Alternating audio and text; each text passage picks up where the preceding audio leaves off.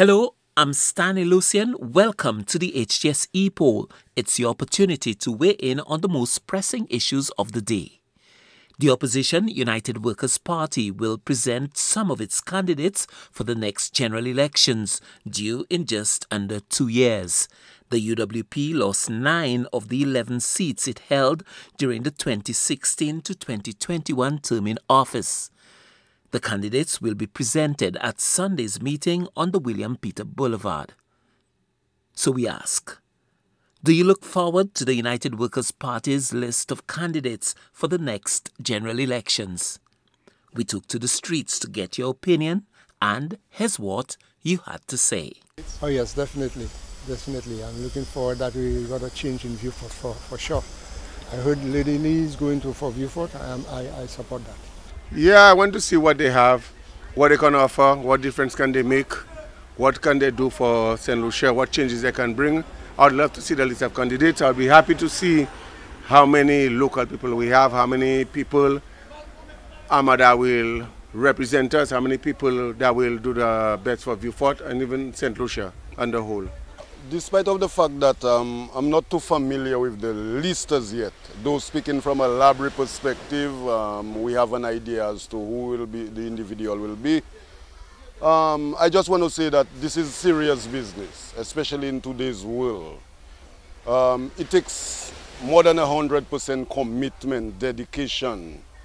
I'm only hoping that St. Lucia can find a list of young, fresh minds, you know, to take us to the next step. Of course, it's fundamental right. Uh, it is our constitutional right as far as persons wanting to represent the district. I wish them all the best, but um, I need to again mention that this is serious, serious business in today's world and one should give it some serious thought. I look forward to a fresh new set of candidates with fresh ideas and fresh, honest, hard workers, not no bluffers, um, and people willing to put the country before self. These are the kind of people I hope the candidates that are presenting are these set of people. If not, we'll be back to the same drawing board as before. And that's what I hope for. Better people, honest people, hard workers, putting country before self. Well, in a way, yes, because I'm looking forward to people in the community that can really reach out, that can make a difference, that can make a change. Because normally uh, over the years, I've seen politics, people just come into politics, they tell you one stuff, and yes, we all depending, we all giving them a chance to see what they can achieve, and in the ending is a no-no. Ah, moun vle wè, moun terese moun vle wè, moun vle wè ki moun ki yonet, ki moun ki kay fè plimè bay peyi ki moun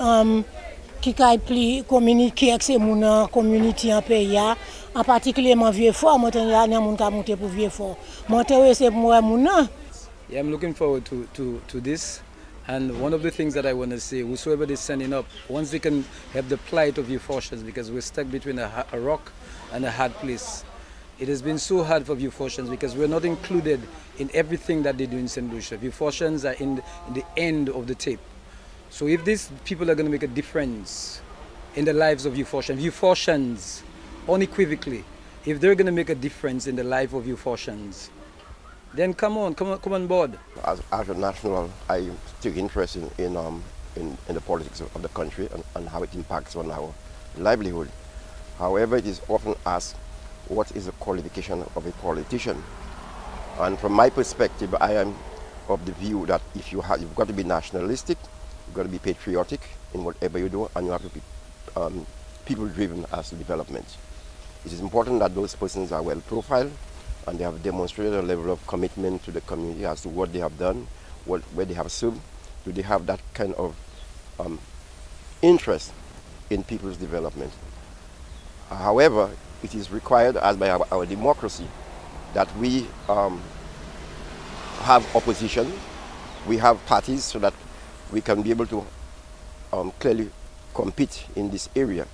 I once had political ambition, but however, because of the nature of the politics in St. Lucia, it has deterred me a lot because to me it's unethical and I'm hoping that those persons uphold certain ethical you know, groundings that will guide them.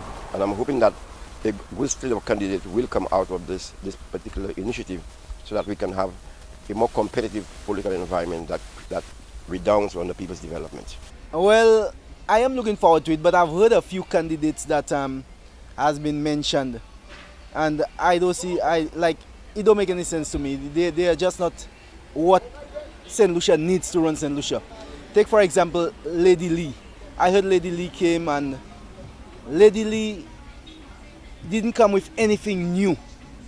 She came with the same thing about um, uh, healthcare and the same thing about CIP and in her deliberation, not once did she try to promote herself or did she say what I can do. All she did was to try and promote Chastanet, just another loyal slave, but nothing more than that. Only one candidate I, I, I have been impressed with is the one from Micoud.